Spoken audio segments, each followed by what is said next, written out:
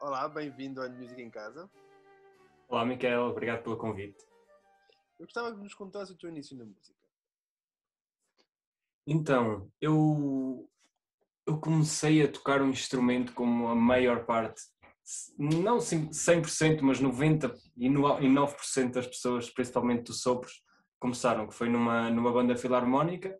Uh, o meu avô tocava na, na banda filarmónica e eu, como eu sou do interior, então nós temos essa tradição, ou antes tínhamos essa tradição de sermos criados com os avós. Ou seja, eu até aos 5 anos uh, estava todo dia na casa dos meus avós e o meu avô tocava saxofone e ele tocava para mim todos os dias.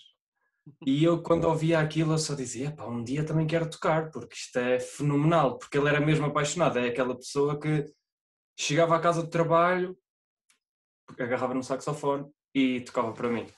Uh, e, mas nessa altura não havia banda, porque a banda acabou uh, aqui na minha terra. E, entretanto, passado uns anos, quando eu tinha já 10 anos, uh, ah, 10 não, sim, 10 anos, um, abriu novamente a banda aqui da minha terra e eu fui, acho que foi a segunda inscrição. Logo porque eu assim que soube que abriu a banda, eu, epá, então é agora. Aquilo ficou sempre na minha cabeça. Até hoje eu consigo ver onde é que o meu avô se sentava e consigo ter na, na minha memória exatamente a imagem do meu avô tocar para mim. E não te fez uh, escolher o saxofone? Como tinha essa imagem na cabeça? Não, porque.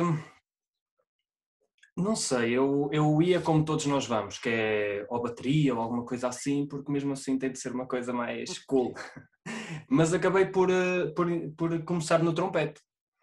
Uh, comecei a tocar trompete uh, e, e, foi o meu tempo todo na, na banda, antes de começar a, a estudar música, foi no trompete, porque pronto, como em todas as bandas, nós temos, nos, uh, nós temos de ir um bocadinho com o que o maestro diz, não é? E não havia pessoas para tocar trompete e era bom porque fazias os solos e era uma coisa muito importante, então era, era, era divertido. Mas realmente no meu último ano uh, nessa banda, que foi quando eu fui, quando eu fui estudar para a Covilhã, eu comecei a ouvir muitos meus, meus colegas lá, lá da banda e havia um que tocava o fone e aquilo era descomunal pá, aquele som era fantástico. Eu comecei a pesquisar eufones no YouTube e a partir daí acabou. Depois que vi eufone no YouTube. Eu, para a escola eu... já tinhas isso em mente? Sim, porque eu assim fui para a escola assim, não há mais nenhum instrumento no mundo que eu gosto mais do que o fone. Aquele som era aquilo que eu queria ter. Uh, e eu quando fui, eu tocava o fone há duas semanas. Eu tive de fazer aquelas provas normais. Eu não tocava o fone. Eu fui, toquei, acho que foi uma, uma obra pequenina e, e fiz a prova e o fone, mas eu tocava trompete. Ele se me pedissem, por exemplo, alguma coisa com o quarto questão ou assim, não ia dar. Uh, então eu fui, eu fui, fui assim, fui pelo, pelo amor que tinha aquele som e, e ainda hoje é aquilo que me fascina mais no, no meu instrumento. E não, tive, não tinhas dúvidas que ias seguir música? Uh, no início todos temos um bocadinho, porque é assim, nós estamos a arriscar, não é? Por exemplo, no meu caso, eu comecei tarde, comecei com, com 15 anos a, a tocar o fone e a estudar, e eu já estava no nono ano, ou seja, eu tinha de passar para o décimo e eu fui obrigado a, a recuar até ao sétimo ano. Eh, na altura era assim, nós tínhamos de recuar três anos porque eu não tinha conservatório nem nada, então para ir para o décimo eu tinha até o quinto grau de conservatório e eu não tinha. Então eu, eu, tinha, eu tive de ir para o sétimo ano e perder, não é? Como nós vamos dizer, perder aqueles, aqueles três anos e claro que acaba por ser uma coisa que te deixa numa pressão enorme. Uh, mas, mas depois, quando, quando realmente me vi ali e comecei a perceber mais, comecei a ir a masterclass, a ver solistas internacionais, eu, epá, isto aqui era uma coisa mesmo que eu queria, mas, mas eu sabia que não tinha, não tinha muito talento, não era uma pessoa muito talentosa. Então, uh, o que eu percebi é, vou ter de estudar 30 vezes mais que todas as outras pessoas. Então eu passava o meu dia todo a, a estudar. Uh, uh, eu, eu, por exemplo, eu fiz um, um, contrato com a senhora das limpezas, que era, eu ia com ela às 7 da manhã, ela abria-me a porta, mas eu não podia fazer nada. O primeiro dia que eu derrubasse uma coisinha ou qualquer coisa, acabou. Então eu ia com todo o cuidado para a sala, no meio da sala, tocava, até chegarem as outras pessoas, às nove, E, e à noite igual, quando a escola, um mês antes dos recitais, abria à noite, eu também ficava sempre, e às vezes era só eu e, ou eu e outro, e o empregado dizia, pá, vamos aqui ficar por duas pessoas, e nós andamos lá e tentávamos convencer, e, porque eu percebi que, que talento não era, mesmo meu professor da altura dizia-me isso, chegou-me a dizer, tu nunca serás alfinista na vida. Pronto. Uh, e eu percebi que então eu tinha mesmo de estudar porque talento não, não, não tinha. E foi assim, e depois, eh, depois todo o trabalho tu percebes, não, fogo, a estudar estas horas todas por dia, eu às vezes deixava-me dormir vestido, porque sentava-me na cama e aquilo era meio desmaio, meio adormecer. Uh, e eu dizia, não, é, é impossível isto correr mal porque são muitas horas a estudar, são, é muito tempo dedicado a isto, até demais, agora vejo e foi demais. Uh, e aí eu percebi que eu ia dar tudo. Desse certo ou errado, não ia ser por falta de trabalho e por falta de estudo e pronto, tem dado certo até agora. E em que momento é que notaste, começaste a ser compensado por esse tempo todo? Achas que houve um momento certo? É assim, sim, eu, eu, eu, como, eu ao início era muito difícil, porque nos meus primeiros dois anos eu, eu não tinha mesmo talento nenhum, então o meu professor só me queria mudar para tuba e, e dar-me a entender que não dava, realmente aquilo não se dava nada, e, e ele só dizia, pá, não, Mauro, não, pá, estás a perder o teu tempo, não dá, não, não vai dar. E, e aí eu fiquei, pá, foi mesmo difícil. Mas depois, passado no meu terceiro ano já, aí comecei a, a, a, ver que, não a ter o reconhecimento de concurso e assim, porque eu já era muito velho, não é, para os concursos. Eu, eu no meu nono ano tinha 18 anos ou seja, já tinha de competir com pessoas de, de, da universidade. Sim, sim. Então eu comecei a ir a, a, concursos no décimo ano, e aí sim, foi a minha, o meu primeiro concurso foi nesse nono ano, em que eu, eu fiquei em terceiro, uh, mas pronto, era o meu nono ano, é normal, eu fui no Júnior de Oliver das Mães, uh, acho eu, e depois no décimo ano, pronto, aí já começou a correr bem, fiz primeiro no décimo, no décimo ano e primeiro no décimo primeiro ano de sénior. E aí eu comecei a ver, ah, ok, isto está a funcionar, então o estudo está a funcionar.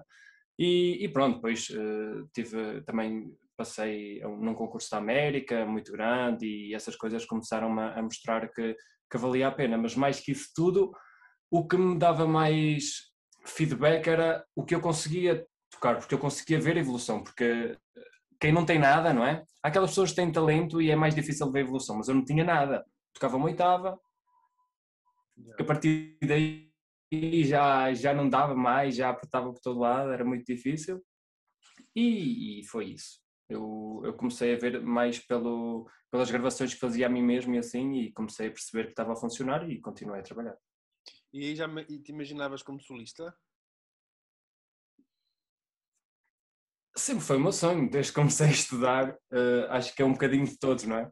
Uh, uh, viajar, uh, dar masterclasses, tocar com orquestras, fazer recitais, uh, fazer tours, é uma coisa que, que, ainda hoje, não é? Eu quero fazer, porque eu tenho 25 anos, não é uma carreira super consolidada, ainda por cima 25 anos com dois anos de pandemia, não é uma carreira super consolidada, não é? então é o que eu quero e, e, é, e é para isso que eu trabalho.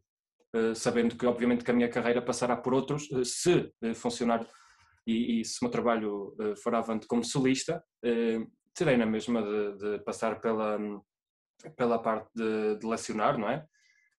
O que, eu, o que era uma coisa que eu não gostava na altura e que cada vez mais venho aprender a, a, a gostar. E sim, penso que vamos ver se corre bem ou não. Como é que tem sido essa fase de, de dar aulas? Porque tu mal acabaste, começaste a dar aulas. Sim. Como é, como é que foi essa adaptação? É assim, eu tive muita sorte, não é? Eh, eu vejo, por exemplo, os meus colegas queixam-se, ah, os meus alunos não estudam. Eu tenho muita sorte nisso, os meus alunos estudam e, e trabalham muito. Uh, e então eu tenho gostado de trabalhar, porque é assim, obviamente que há, que há pessoas e pessoas e nós temos de, de, de nos moldar aos objetivos dos estudantes também, não é? Mas acho que o que eu, o que eu tento passar, mais do que estudar técnica, estudar aquilo, é, é basicamente o, os meus, os meus, o meu conceito, não é? O meu conceito tanto como músico como, como pessoa.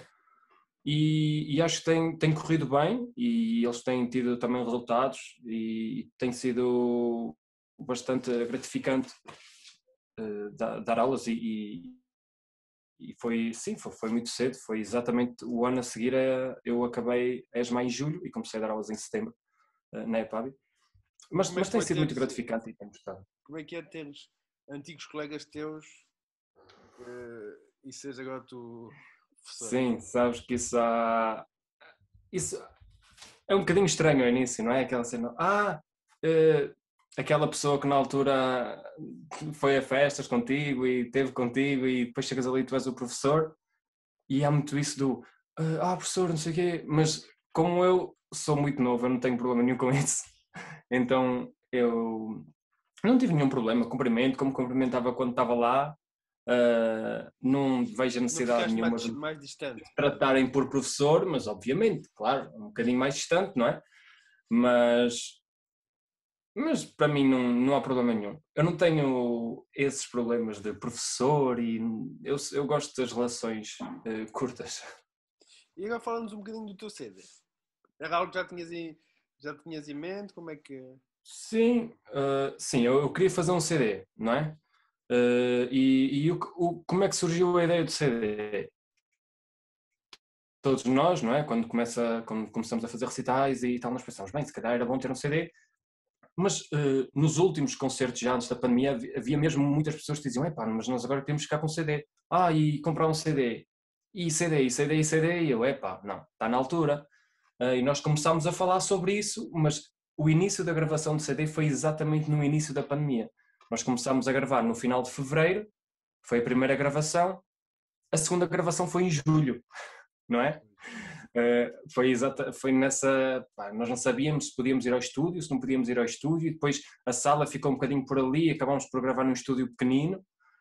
Uh, felizmente a, a, equipa que trabalhou comigo esteve sempre muito disponível e entendeu tudo, então, então nós, nós conseguimos ser um bocadinho flexíveis para, para tentar uh, que tudo funcionasse.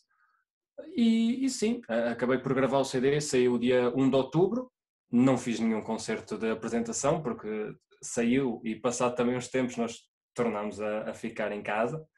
Uh, e depois veio o Natal e não dava, por simplesmente não, não dava e até hoje ainda não deu. Mas pronto, espero que, que daqui em diante as coisas uh, só melhorem e qual foi, como é que foi a escolha do repertório? Sim, a escolha do repertório é. Há muitas obras que, que eu fiz a estreia, principalmente no, no Gravíssimo. Tenho duas, três obras que fiz a estreia no Gravíssimo, tenho duas, três obras que foram escritas para mim e para este CD. E depois são obras que, que fazem parte um bocadinho dos meus recitais. São aquelas obras que são um bocadinho o espelho da, do início da minha carreira. Eu, por exemplo, nunca fiz um recital sem a obra Lambónio 235, por exemplo, que eu gravei no CD, ou Saxórnia também é uma obra muito marcante. Uh, então eu fiz um bocadinho por aí. Uh, peguei nas obras que, que, eu, que eu gostava mais, nas obras que foram. E nenhuma destas obras tem gravação, sem ser a Panera de Ravel. Nenhuma destas obras tinha sido gravada, eu aproveitei por aí e fiz a, a primeira gravação de, destas obras uh, todas. E como é que tem sido o feedback do, do CD? Sim, o feedback tem sido, tem sido muito positivo, uh, mais daquilo que eu pensava né? Uh, que iria ser. Nós, nós fazemos as coisas sem expectativas e, e tem sido muito, muito positivo. Uh, e, e, foi uma boa experiência gravar também, porque depois acabámos por gravar quando estávamos em casa, então a única altura que, que eu saía de casa era para gravar e ver pessoas e fazer música. E acabou por ser super gratificante à altura que, que calhou a gravação eh, visto que estávamos isolados, então, não é? E já tens alguns, alguns concertos em vista para a apresentação do CD? Sim, eu tenho bastantes convites uh, a nível internacional, a nível nacional uh, nem tanto.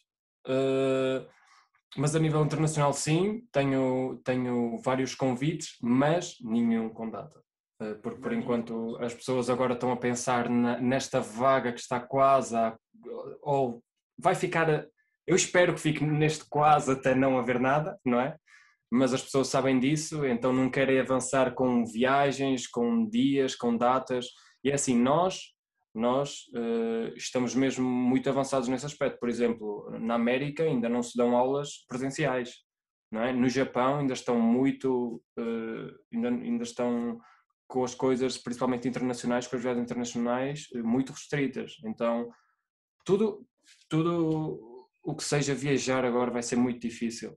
Uh, e então, sim, as próximas coisas que tenho são, são masterclasses e, e também vou fazer um, um, um, pequeno recital no Gravíssimo uh, em agosto, em Alcobaça.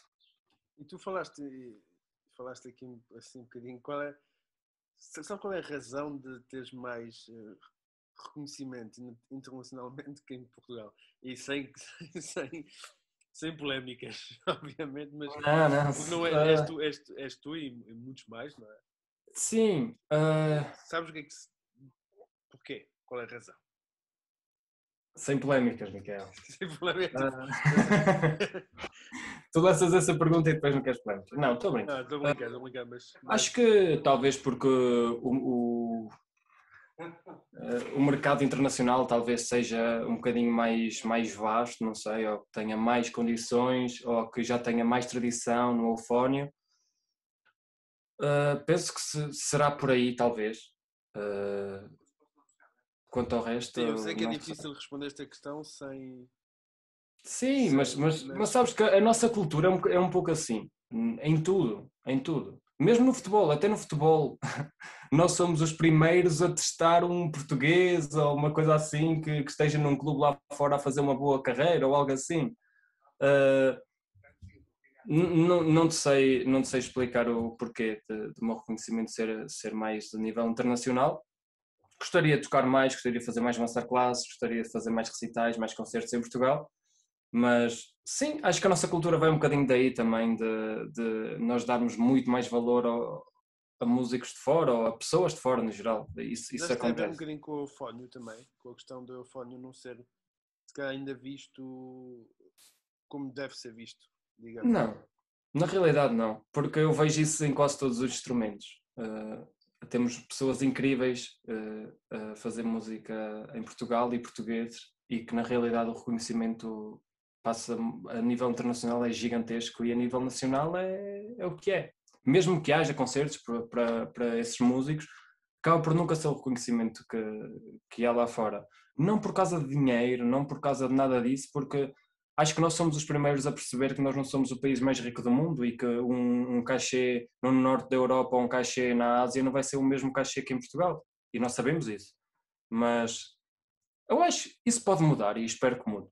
Se não mudar, pronto, eu estarei feliz na mesma. Continuamos felizes. E, e que mais, que, que, projetos tens em mente? É assim, eu, eu acabei agora também de, de fazer um, um, novo CD com, com o Sérgio, ele, ele convidou-me para fazermos o, um CD uh, eh, dos estudos do Gregory Fritz, estudos que foram premiados e faz este ano 30 anos uh, dessa, dessa grande, grande premiação e, e nós acabamos por fazer eh, um, eu toquei novos estudos e, e o Sérgio tocou 20 e, e, depois fizemos os três novos duos que o compositor uh, Gregory Fritz escreveu e, e esse CD está para sair uh, mesmo agora, que será uma, uma edição aniversário que é o livro com o, o CD de, como exemplo, não é? Esse foi um dos últimos projetos uh, que fiz. Também tenho, também acabei de gravar quatro vídeos para, para Adams, não é? Que, que é a marca que me, que me patrocina. Merchandising. e, e sim, novos projetos, eu tenho alguns em mente e sei que vão acontecer brevemente, mas eu, sabes, que com novos projetos, eu gosto de os mostrar quando já os tenho. Uh, e, e, eu gosto, de, eu gosto das coisas assim. E que, que conselhos deixas para os jovens músicos? Sendo tu também um jovem músico, digamos. Mas... Sim, claro. para uh.